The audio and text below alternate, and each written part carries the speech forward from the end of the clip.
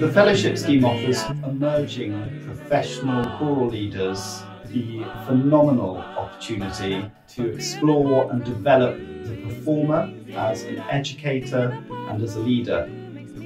The fellowship is a really, really good scheme to get a, a, grounding in music leadership, in teaching skills, in working with young people and other performers. Personally, I feel like it's really given me the confidence to put myself out there as a serious musician, despite kind of not coming from a, a strictly musical background.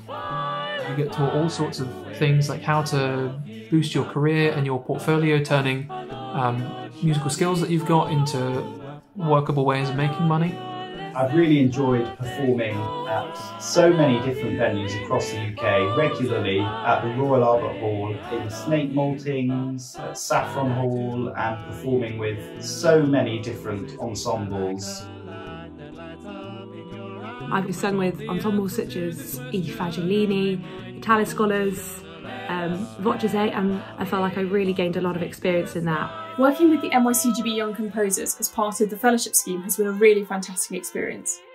To work with such intelligent and compassionate musicians. They wrote so well for our voices and I'm incredibly grateful for that experience.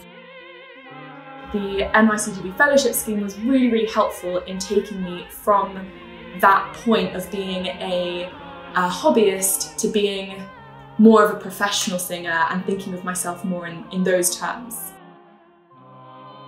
If you're a singer aged 20 to 27 and you want to develop your skills in performance, education and leadership, you should absolutely apply for this scheme. I've met some just really just fantastically interesting and wonderful and funny people. I've learned so much and I've made so many friends. It has just been so much fun. It really is an inspiring place to be. Good luck.